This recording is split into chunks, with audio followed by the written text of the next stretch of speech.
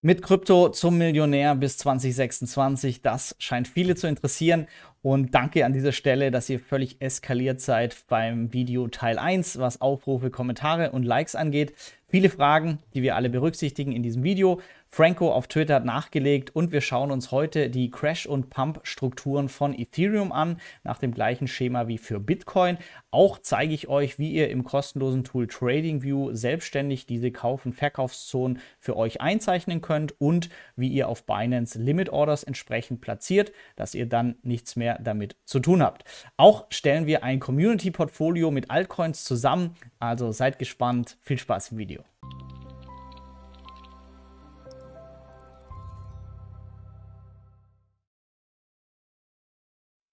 Wer Teil 1 des Videos noch nicht gesehen hat, ähm, ja, ihr habt es unglaublich äh, gefeiert, was mich natürlich sehr freut. Franco auf Twitter, von dem die Strategie stand, stammt ebenfalls. Also nochmal herzlichen Dank für euer Engagement und mit knapp 16.000 Aufrufen und extrem vielen Likes und Kommentaren hat der Algo das auch gut gefunden und wir wurden hochgespült, haben neue Abonnenten gefunden. Also vielen Dank dafür. Falls ihr noch nicht äh, subscribed seid oder noch nicht geliked habt, dann macht es jetzt, weil wir sehen es, das hat einen unglaublichen Effekt für den Algorithmus. Also vielen Dank für euren Support an dieser Stelle. Auch gab es viele Kommentare, die ich natürlich alle gelesen und ähm, ich glaube jetzt auch alle beantwortet habe. Und unter anderem wurde sich gewünscht, dass ich mal mit TradingView, das kostenlose Tool, zeige, wie ihr selbst für euch quasi die Abstände vom All-Time-High äh, einzeichnen könnt, sodass ihr selbstständig eure möglichen Einstiegskaufzeitpunkte setzen könnt. Auch zeige ich euch, wie ihr auf Binance Limit Orders platziert, sodass ihr eigentlich jetzt einmal festlegen könnt, wie viel Geld möchtet ihr investieren in nächster Zeit, dann die Limit Orders zum Einkauf platziert und dann habt ihr nichts mehr zu tun, außer abzuwarten ähm, und vielleicht, wenn die Orders getätigt sind, abzuziehen in euer Wallet und wenn wir im Bullenmarkt sind, wieder draufzuschieben und zu verkaufen. Das alles in diesem Video.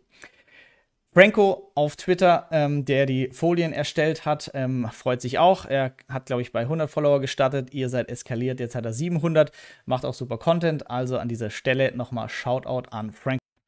Vielleicht hier auch nochmal sein Portfolio gezeigt. Er selbst hat für sich ein 5% Spaßportfolio und ein 95% ähm, Portfolio, das aktuell aus diesen Coins besteht. Ähm, also neben Bitcoin noch einige Altcoins und er hat sich eben, wie er, wir das auch in diesem Video wieder vorstellen, abhängig vom All-Time-High eingekauft und wir sehen, trotz Bärenmarkt ist hier die Vielzahl seiner Coins jetzt bereits deutlich im Plus. Und ähm, ja, mal schauen, wie das Ganze im Bullmarkt aussieht. Das auf jeden Fall seine Coins. Mich interessiert natürlich auch, was ihr so gut findet und ich habe ein Google-Form aufgesetzt, ist in der Beschreibung verlinkt. Ähm, stimmt doch gerne mal ab, was für Altcoins dem Bitcoin ihr noch gerne im Community-Portfolio haben möchtet und dann können wir da eventuell auch noch für einzelne Coins uns die TradingView-Daten anschauen oder sie auf Munaradar tracken ab jetzt. Dann können wir da alle mitmachen, wer Lust hat. Also stimmt gerne mal ab. Link in der Beschreibung einfach im Google-Formular eintragen. Jetzt gehen wir wie versprochen auf die Crash- und Pump-Strukturen von Ethereum ein. Franco hat nachgeliefert, also wer ihm noch nicht folgt, at 100 Mio Euro, angelehnt an Julian Hosps Video, ähm, sein Ziel hier 100 Millionen Vermögen. Diesen Zyklus möchte er sein Portfolio von 100.000 Euro auf eine Million Euro bekommen. Ähm, ich drücke ihm die Daumen, bei mir sieht es ähnlich aus mit dem Ziel. Also, Jetzt schauen wir uns mal das Ganze an für Ethereum. Franco hat wieder super Slides erstellt und er guckt sich auch die Kommentare hier an. Also falls ihr Fragen habt speziell zu ihm, dann auch einfach in die Kommentare posten. Das Modell wieder das gleiche wie bei Bitcoin. Wir haben vier verschiedene Phasen. Vorbereitung, Kauf, Hodel und Sell. Die, die das erste Video schon gesehen haben, altbekannt. Trotzdem noch mal kurz drauf eingegangen.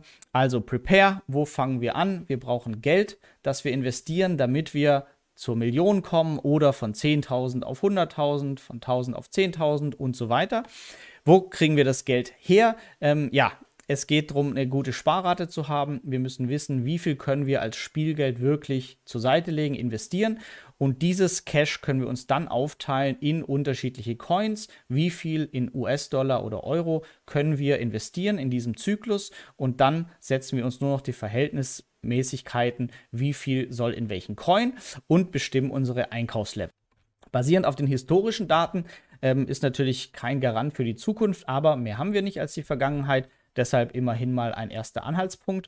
Ähm, ist bei Ethereum sogar ein 20x realistisch, basierend auf den historischen Daten. Das heißt, wenn dein Ziel beispielsweise 100.000 Euro wäre in diesem Zyklus, also in den nächsten drei, vier Jahren, dann bräuchtest du ein Anfangsinvestment von 5000 Euro, das jetzt strategisch investiert wird.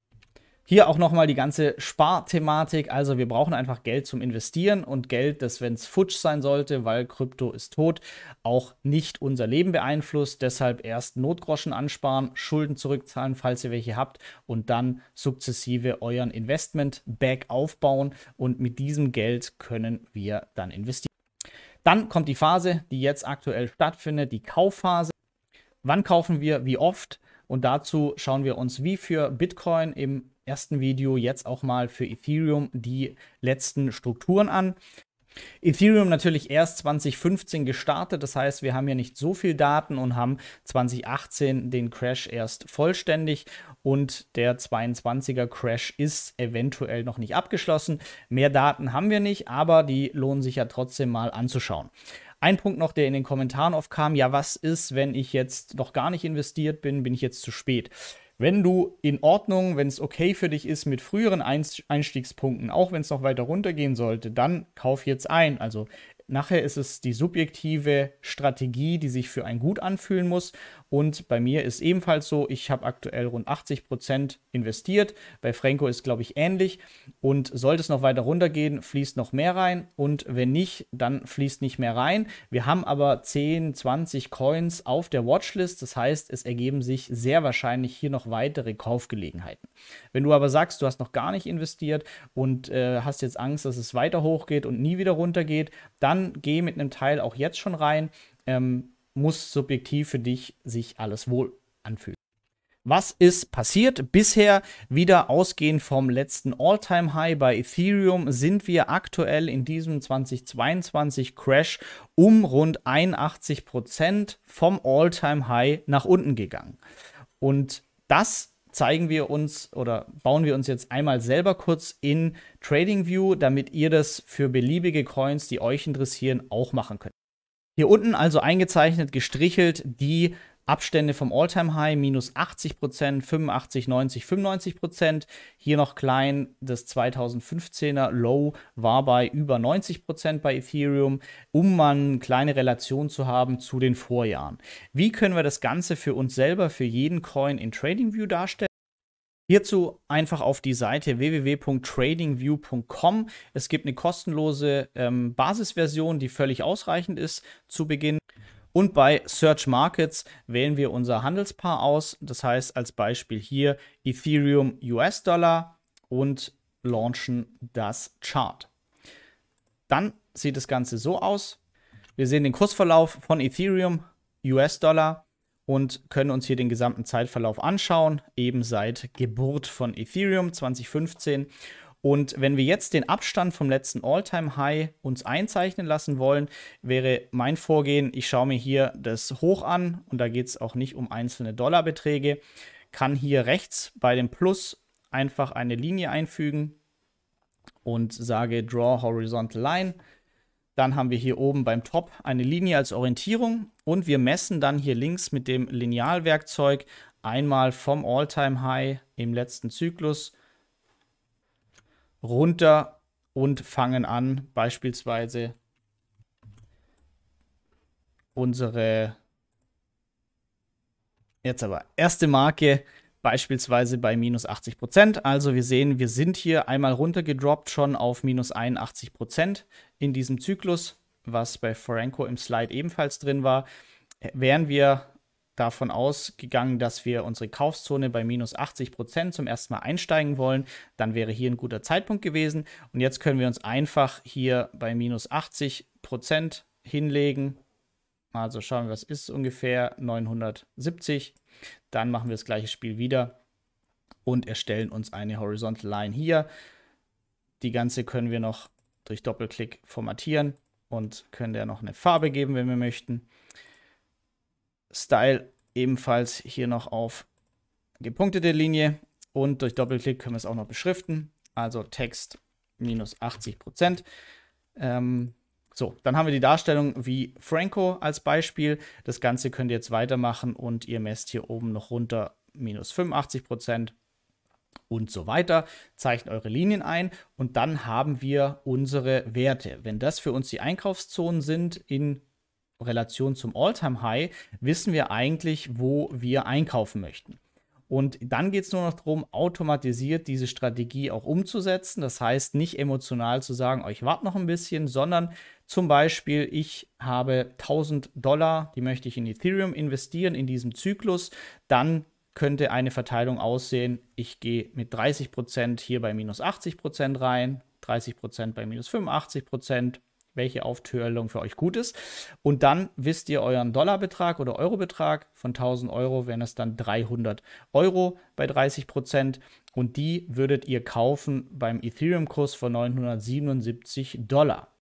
Jetzt können wir uns Limit Orders festlegen auf einer Börse. Ja, wir haben hier unser Risiko, das Geld auf die Börse zu schieben, aber das ist wieder die Abwägung aus, was für eine Rendite mache ich, wenn ich nicht verkaufe beim nächsten Zyklus, sondern durchhodel und wieder den Einbruch mitnehme. Oder ich gehe Risiko für eine gewisse Zeit auf einer Plattform, auf einer Börse ein. Bei mir ist es so, ich äh, gehe hier auf Binance, einfach noch die größte und wenn Binance kaputt ist, dann hat der ganze Kryptomarkt noch größeres Problem. Für mich ist es das wert, dieses Risiko. Ihr könnt es noch verkürzen oder reduzieren, indem ihr euch beispielsweise bei TradingView hier auch noch Alerts einstellen könnt. Das seht ihr hier rechts mit dem Wecker-Symbol. Ähm, hier drüben, sorry. Also Alert, das heißt, ihr könntet euch beispielsweise, statt jetzt schon eine Limit Order zu machen und Geld auf die Börse zu transferieren, könntet ihr euch hier ein Alert setzen, Preisalert. Hey, schick mir eine SMS oder ähm, E-Mail, wenn dieses Preisziel erreicht ist für Ethereum. Dann würdet ihr schnell zur Börse gehen, würdet Kryptos hintransferieren vom Wallet und dann kauft ihr, kriegt natürlich dann vielleicht nicht mehr den Kurs, den ihr ähm, perfekt bekommen hättet mit einer Limit Order. Abwägung von Risiko muss jeder für sich entscheiden. Mein Vorgehen ist es auf Binance Limit Orders. Das heißt, äh, wenn ihr noch nicht auf Binance seid, könnt ihr euch über unseren Affiliate-Link registrieren. Hat den Vorteil, ihr kriegt da nochmal, ich glaube, 20% weniger Gebühren pro Trade, was natürlich später, wenn die Trades größer werden, gut was ausmachen kann. Und ihr unterstützt uns und den Channel noch. Also da vielen Dank, wer sich hierüber anmeldet. Binance funktioniert aber ähnlich wie die anderen großen Börsen auch. Das heißt, wenn ich euch hier zeige, wie ihr die Limit Orders macht, dann funktioniert das ebenfalls auch bei den anderen großen so. Ihr würdet jetzt also, wenn ihr euch für Ethereum als ein Teil in eurem Portfolio entschieden habt, auf Spot Trading gehen, das Währungspaar Ethereum USD auswählen. Ihr müsst USD auf der Börse haben, ansonsten wählt ihr ein anderes Währungspaar zu Ethereum und dann Lasst euch hier nicht abschrecken. In meinem Fall Ethereum BUSD ist voller Orders, weil hier noch ein Grid Trading Bot drauf läuft. Aber ähm, für euch wichtig ist hier unten die Maske. Wäre also, wenn wir bei unserem Beispiel bleiben, Ethereum hier bei 977 Dollar und wir möchten 300 Dollar investieren.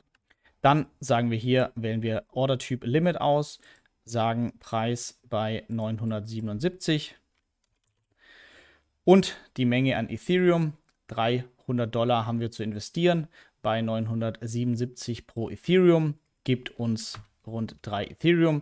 Noch genauer könnt ihr kurz ausrechnen. Und das war's auch. Dann klickt ihr auf Buy Ethereum. Sorry, 0,3 muss es natürlich heißen. Buy Ethereum und dann habt ihr die Limit Order platziert. Ihr könnt das gleiche machen für die anderen Einkaufslevels und das war's dann auch. Als Beispiel für Ethereum von Franco auch nochmal schön erklärt. Sein Vorgehen sind die Einstiegszeitpunkte, dass er sein Investment, ähm, beispielsweise 1000 Dollar, aufteilt in 30 Prozent, 30, 30, 10. Ähm, könnt ihr natürlich abstufen, wie ihr möchtet, noch granularer machen, dass ihr nicht bei minus 80 Prozent, sondern minus 81, minus 82, da einfach die Aufteilung wählen, die sich für euch gut anfühlt. Aber wichtig, dass wir Limit Orders haben. Das heißt, das Ganze kann automatisiert erfolgen und wir brauchen nicht Twitter-News lesen, oh Mist, es geht doch noch weiter runter, sondern die Orders sind platziert. Niemand weiß natürlich, ob Ethereum jetzt auch nochmal auf minus 94 Prozent vom letzten All-Time-High fällt, so wie es 2018 der Fall war. Aber wir schauen uns an, was die in der Vergangenheit passiert ist und machen dann unsere Wetten auf die Zukunft. Wenn das passiert ist, heißt es wieder Hodel. Wir können jetzt, wenn die Orders getätigt sind, auch beispielsweise die kompletten Coins von der Order, äh, von der Exchange wieder runternehmen, in unser Wallet schieben, haben dann nicht mehr das Plattformrisiko, aber ähm, seid euch auch da bewusst, ihr seid dann wirklich selbstverantwortlich. Dann hodeln wir, das heißt, wir machen gar nichts, genießen unser Leben, machen Online-Nebeneinkommen, bringen uns neue Fähigkeiten bei, spielen mit ChatGPT raus, äh, rum und so weiter. Und dann der wichtige Zeitpunkt, alles pumpt, alles geht hoch, jeder hat wieder Lust auf Krypto und wir sagen uns, ja, ja, wir kennen das Ganze schon, wir verkaufen. Und auch dafür schauen wir uns an, Franco hat das für uns gemacht, wann verkaufen wir und wie oft, wie viel. Wie sah es bei Ethereum aus? Was war im letzten Pump? Auch da wichtiger Hinweis, ähm, ja, es gab viele Rahmenbedingungen, wie Notenbanken ähm, machen Brr das dazu geführt hat, dass natürlich noch mehr Geld in Krypto reingeflossen ist. Kein Garant dafür, dass es in Zukunft wieder so sein wird. Also ähm, ich selbst gehe auch davon aus, dass es nicht mehr so krass wird oder in dieser Zeit nicht mehr so krass wird. Ähm, trotzdem könnt ihr euch für euch die Levels so setzen, dass sie passen, weil wenn ihr zufrieden seid mit dem Profit, wenn es 10x ist, 5x, dann nehmt ruhig die ersten Chips schon wieder vom Tisch nichts Schlimmeres als, ach, ich hab's doch gewusst, sondern setzt die Levels so. Das hier jetzt nur der Beispiel, wie war es in der Vergangenheit. Ich hatte hier gerade schon so Annalena Baerbock Versprecher mit drin. Also hier 2017 der Pump von Ethereum natürlich extremst. Ähm, ja, vom Low von 42 äh, Cent hier auf 1400 Dollar. Ob wir sowas nochmal sehen werden, ungewiss. Aber wir können uns anschauen, was ist denn 2021 passiert vom Bottom, das heißt vom letzten Low, um wie viel ging es nach oben. Und hier sehen wir schon höhere Pump-Strukturen als bei Bitcoin beispielsweise. Da waren wir ab 10x bis 25x. Hier wäre jetzt ein Verkaufsszenario bei 3000, 3500, 40, 45, 50x mal eingezeichnet. Ob das für euch jetzt auch so passt für die Zukunft oder ihr sagt, ja, so krass wird es nicht mehr. Ich bin schon zufrieden, wenn es 10x macht 20x und ich fange da schon ab, an Gewinne abzuziehen. Auf jeden Fall das hier die Struktur für Ethereum 2021, wie es wieder nach oben gegangen ist. Und wie ihr seht, ihr könnt euch das auch hier wieder in TradingView ähm, einzeichnen. Vielleicht da noch der Hinweis, ihr könnt hier rechts oben auch einzelne Layouts mit euren Linien abspeichern, indem ihr hier bei Rename und Save euch ein paar ja, Layouts anlegt. Was lernen wir aus den Pump-Strukturen von Ethereum? Es könnten diese Ausstiegspunkte sein. So war es in der Vergangenheit auf jeden Fall ab 30x. Verkaufsaufteilung, Vorschlag Franco 10%, 25, 30, 25, 10. Auch hier geht es hauptsächlich um das Psychologische, dass ihr euch wohlfühlt, nicht den Zug verpasst zu haben. Wir werden das Top nie treffen, aber wenn wir zufrieden sind mit unseren Sell Prices, dann ist das ja perfekt. Auch da machen wir das gleich. Wir gehen auf Binance, machen Limit Sell Orders und diese sind aber auch dann erst notwendig, beispielsweise, wenn wir sehen, in ein, zwei, drei Jahren, es geht gut nach oben, dann kann man mal anfangen, wieder Coins auf die Börse zu schieben, Limit Verkaufsorders zu platzieren nach einem festen System und dann mit jedem Abverkauf sich freuen, Coins wieder runternehmen oder US-Dollar wegtransferieren. Das ist der Plan. Fazit von Franco, also im besten Fall 40x, realistisch 20x, seine Prognose für, Prognose für Ethereum. Lass mich doch gerne mal deine Kommentare, Einschätzungen wissen. Waren super wertvolle Kommentare im letzten Video. Ich hoffe dieses Mal auch, dass es hier so einen tollen Austausch gibt. Zum Abschluss noch ein paar Regeln, die ich sehr cool finde. Franco hat auch viele Kommentare hier nochmal gelesen und beantwortet und daraus abgeleitet nochmal ein paar ähm, ja, Hilfestellungen gegeben. Frankos 10 Regeln für die 10%, nämlich die 10%, die am Kryptomarkt Gewinne erzielen. Und ähm, ein paar habe ich gehighlightet. Ähm, schaut euch die ganzen aber hier auf Twitter, wie gesagt, bei Franco nochmal an. Wir handeln niemals aus der Emotion heraus. Emotionen führen zu dummen Entscheidungen. Dumme Entscheidungen machen dich arm. Das ist der Punkt. Ähm, wir halten dann doch zu lange oder verkaufen nicht. Deshalb Limit Orders vor die klare Strategie. Ansonsten, wir sind geduldig. Manchmal ist es langweilig, aber in Bezug auf Jahre sagt man sich heute auch, ja, hätte ich mal da meine ersten 500 Euro Bitcoin 2017 nicht gleich verkauft. Ähm, und dann heißt es aber auf lange Sicht betrachtet alles richtig gemacht. Es gibt auch manchmal langweiligere Phasen, aber wir sind geduldig, weil wir wollen keine Verdopplung, sondern wir wollen wirklich 10x, 15x mit unseren Investments hier machen und da muss man auch ein bisschen Geduld mitbringen. Dann das nächste, nicht auf einen Coin verlassen, also Bitcoin wahrscheinlich bei jedem mit drin, Ethereum aber streut es am besten noch über weitere Coins. Wer weiß, ähm, ja, wer noch da ist im nächsten Bullrun. Deshalb, ähm, ja, freue ich mich, wenn ihr mitmacht bei der Abstimmung. Link in der Beschreibung, Google-Formular. Welche Altcoins sollen wir noch ins Portfolio nehmen, neben Bitcoin? Äh, ja, lasst mich wissen, auch in den Kommentaren gerne eure Begründung. Quant habe ich schon äh, ganz viel gelesen bei euch. Ja, das so ein paar Anmerkungen.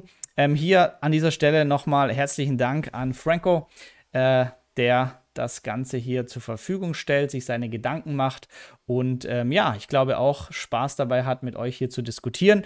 Wie gesagt, folgt ihm auf Twitter. Er wird ebenfalls die Kommentare hier lesen, wenn ihr Fragen habt, direkt. Und ansonsten freue ich mich auf Teil 3 der Videoserie und viel Kommentare, Likes für den Algo. Dann sehen noch ein paar mehr Leute dieses Video und wir werden hoffentlich vermögender durch Krypto und nicht ärmer. Und damit viel Spaß, einen tollen Tag dir. Mach's gut.